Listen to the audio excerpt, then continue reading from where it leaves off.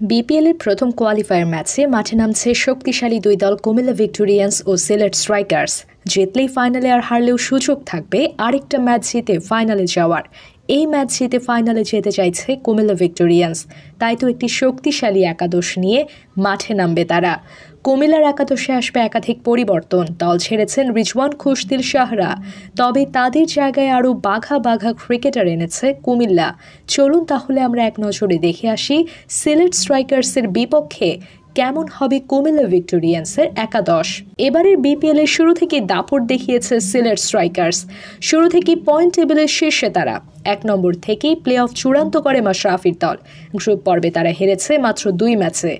অন্যদিকে কুমিল্লা ভিক্টোরিয়ান্সের শুরুটা ভালো হয়নি। টানা তিন ম্যাচ পরাজয়ের পর দারুণভাবে ঘুরে দাঁড়ায় ইমরুল কায়েসের দল।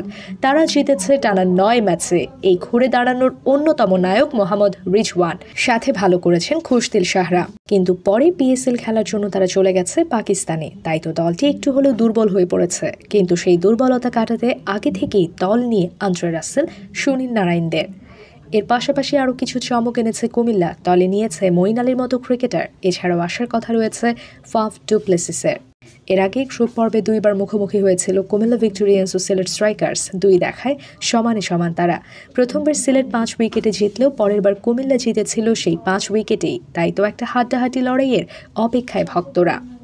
চলুন তাহলে আমরা এক নজরে দেখে আসি সিলেট স্ট্রাইকার্সের বিপক্ষে কুমিল্লার শক্তিশালী একাদশ। এই ম্যাচে কুমিল্লার হয়ে ওপেনিং করবেন দুর্দান্ত ফর্মে থাকা লিটন কুমার দাস। প্রতি ম্যাচেই দলের জয়ে অবদান রাখছেন লিটন দাস। দুর্দান্ত সব শটে মুগ্ধ করছেন সমর্থকদের। এই ম্যাচে আরও বড় ইনিংস খেলতে চান লিটন। লিটনের সাথে ওপেনিংয়ে দেখা যাবে মঈন আলীকে। প্রথম ম্যাচে মাঠে নামবেন এই তারকা অলরাউন্ডার মোহাম্মদ রিজওয়ানের জায়গায় ব্যাটিং করবেন মঈন। উইকেটে টিকে গেলে একাই গড়ে দিতে পারেন ম্যাচের চিত্র। তিন নম্বর পজিশনে দেখা যাবে ওখানে ইমরুল কায়েসকে। যদিও খুব একটা ভালো করতে পারছেন না ইমরুল। তবে বড় ম্যাচে কাজে আসতে পারে ইমরুলের batting.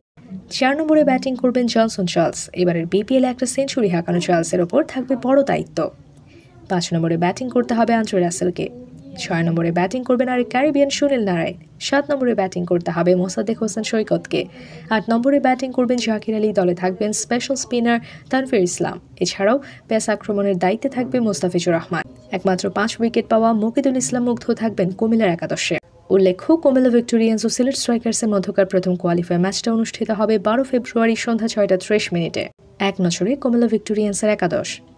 Liton Kumar Das, Moeen Ali, Imrul Kayes, Johnson Charles Andre Russell, Sunil Narine, Mosaddek Hossain শরিকত, Zakir Ali Tanvir Islam, Mustafizur Rahman ও মকিদুল ইসলাম মুগ্ধ। তো দর্শক বন্ধুরা, কুমিল্লার এই একাদশটি নিয়ে আপনাদের কি মতামত? আপনাদের গুরুত্বপূর্ণ মতামতটা অবশ্যই নিচে কমেন্ট বক্সে লিখে জানাবেন। আর ভিডিওটা ভালো লাগলে লাইক দিয়ে শেয়ার করে দেবেন বন্ধুদের মাঝে।